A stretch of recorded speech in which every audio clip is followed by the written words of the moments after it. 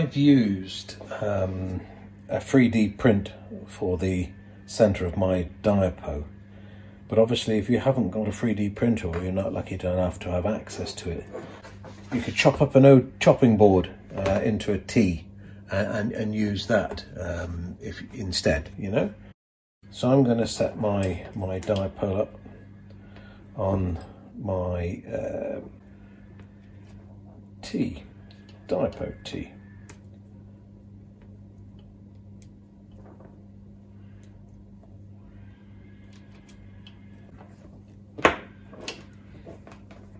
Sorted.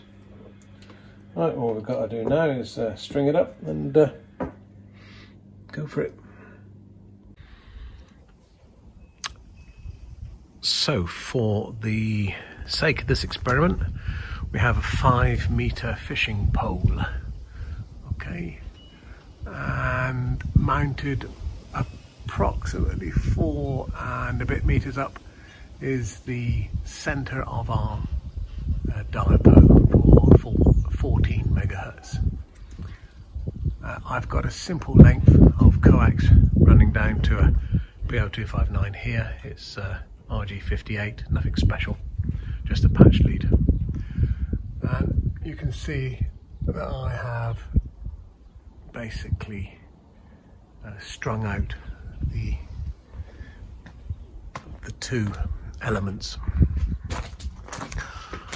not particularly fantastically uh, roughly 120 degrees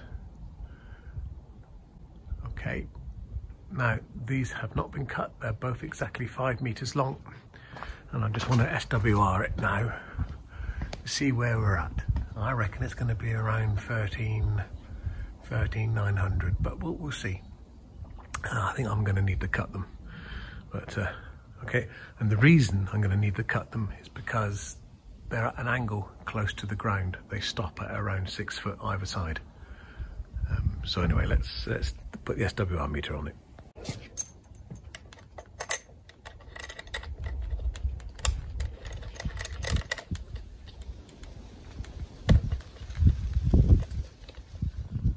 I think it's about minus 30 out here today. Oh. So it's uh, pretty close, isn't it? Let's see if I can get a bit of a better. Doing this with one hand is very difficult. Bear with me.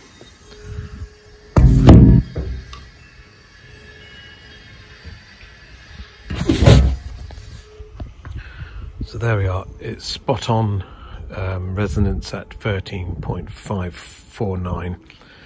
So I will need to chop a, probably an inch off each end. So let's do that and come back to it.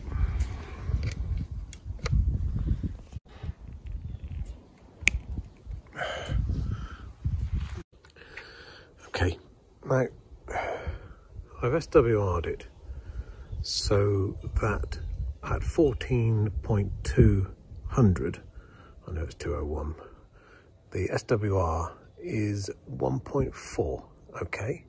1.4 to 1 at, um, at 14.200.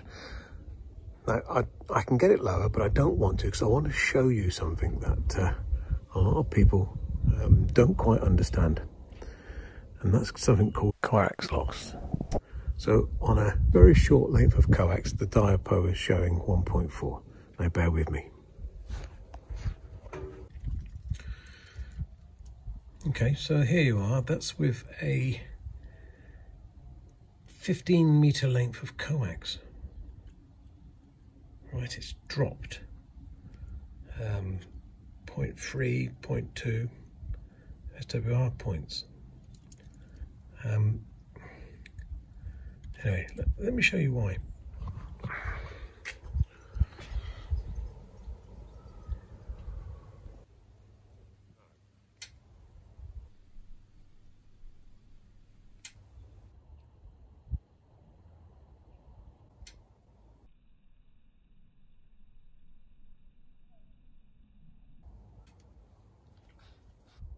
To be fair, not all coax will lose um, a third of its power over 20 or 30 meters. Um, the RG58 uh, which is what I'm using for this, is um, not a particularly good quality RG58. Um, many times I've heard um, on the radio people say, since I've changed my coax, the SWR is a lot worse. Well, it's actually probably because the coax is more efficient and the aerial needs retuning. It's not necessarily because the coax is bad, although you may have a bad joint. But that's probably the reason. It's more likely because the coax that you have now fitted is less lossy and therefore works a lot better than the coax that you replaced. So what I'm trying to say, what I'll get round to saying is, um, the SWR is better back at the radio because if your aerial is returning, let's say two watts, by the time it reaches the radio, because of the loss of the coax, you're down to half a watt or maybe one watt, uh, which is obviously going to be a better uh, SWR than at the aerial. Have I laboured that point enough? Did you see what I'm trying to get at? Okay, so SWR is measured at the radio, but please be aware it's also a good idea to measure it at the aerial. The end's finally trimmed. I've cut about, um, I suppose, 10 centimetres off each end in the end. Um, and this is the first reading. I've not done this previous. So there we go. At 14, 100, we have one to one. Go down, go down, go down. So 1.2 just below the band. And 1.1. 1.2 at 200. No, 1.3 at 200. 1.4 at 250,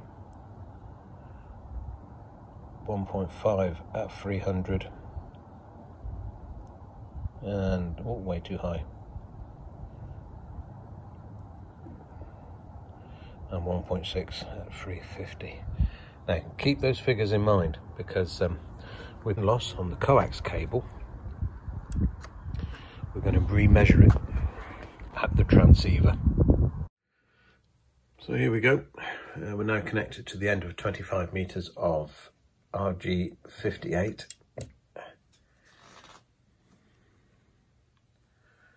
The same readings, only this time in reverse.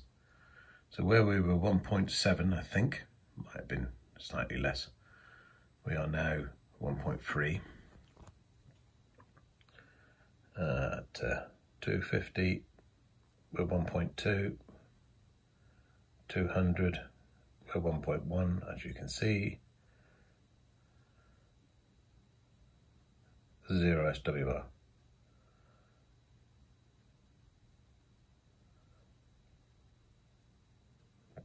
Down past the band. And it starts coming back up again at uh, 13 900 so that's the effect of a loss in cable. Uh, in this particular instance is actually uh, beneficial because it means we can use the whole of the band uh, without any fear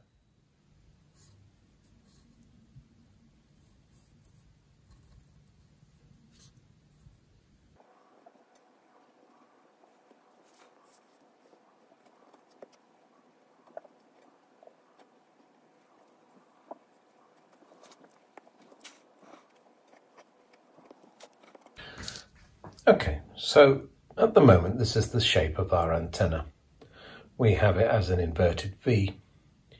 Now, from above, the radiation pattern is a bit like this.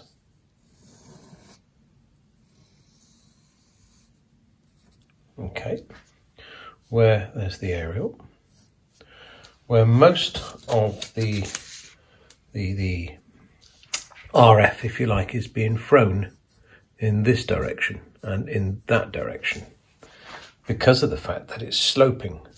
So the RF is being pushed off the the elements in that direction. Okay. Now with the flat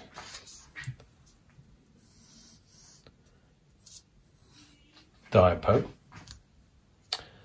the above pattern is literally a circle, you know, two circles. It's a figure of eight, perfect figure of eight, because most of it's going skyward and earthward.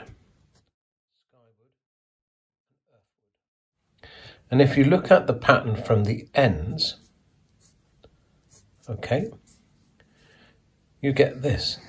So nothing's coming towards you. Absolutely nothing's coming towards. So you've got a null on, on the end of, of the dipole. Okay, because if you look at it, um, I use the pen, for instance, right? So this is what the um, the RF sees when it's coming to the side of the antenna. And as it's coming to the end of the antenna, all it's got is the end of the cable. But with an inverted V, it can see from the side, from end on. It still sees a lot of the aerial. So the benefit of an inverted V is the fact that it becomes not omnidirectional, but it becomes um, less directional than a flat top. So the RF can be seen from the side, but it also transmits further from the direction of the antenna. And as the far plot will show, that there's more of a push towards the direction of the um, elements than there is with a flat top. Okay, a little bit, uh, there's a lot more physics and science involved in that obviously, but uh, we haven't got the time or the scope to do it in this particular video. Um, but another thing to, to um, observe, sorry about the pausing, is that there's going to be a difference in impedance as well. The impedance changes because of the capacitive load between the elements and the ground, okay, changes. Now, the higher up uh, to a certain point, that is, that the antenna is um, from the from the Earth, um, the longer the elements require to be. Um, and now with the inverted V, because you're pulling the elements down, they need to be shorter. Um, there is, uh, I'm sure, some wonderful formula that uh, proves this, but uh, just do it, um, and you and you'll be able to measure it yourself. You'll actually physically um, see the difference. Um, now with mine, it's only uh, five meters above the ground and the ends are only two meters above the ground. So I had to, to chop um, quite a bit off the end of the uh, the elements, 10 centimeters. Um, and that still didn't bring it into the middle of the band, only the beginning of the uh, 14 megahertz 20 meter band. Um, but when I flattened the antenna, which I shall show you in a minute, the SWR moved up the band into the middle of the 20 megahertz, uh, sorry, the 20 meter band, the 14 megahertz band. Um, however, would not come below uh, 1.2. Anyway. So conclusions. How do we end this video? Um, an inverted V, um, from at least from my point of view, is the way to go. Uh, it allows me to uh, to have uh, the dipole more as a as an omnidirectional. Um, the SWR is lower because the impedance matches better. The flat uh, dipole is um, good. Um, it's uh, around 73 ohms um, when uh, when matched. Um, so you'd need perhaps a balun to bring it in. Um, yeah, it's a difficult one. It's a difficult one. I, I uh, you have to build it, play with it yourself, see what you think. Um, from my point of view, it's the the inverted V all the way. Anyway, thanks very much for watching. I hope you enjoyed what you've seen. If you do, please give it a thumbs up um, and perhaps subscribe. Um, and if you didn't, well, that one works as well, unfortunately. Um, so thank you very much again for watching um, and uh, stay tuned. We'll, uh, we'll do another one very soon. Bye for now. Okay, this is Ocean Germany 1, X-ray Mike Alpha Sierra. Mike Zero, Mike Sierra November. Zero, Mike Zero, Mike Sierra November. zero Mike Sierra November 5 9. Five nine also. Italy Victoria 3, so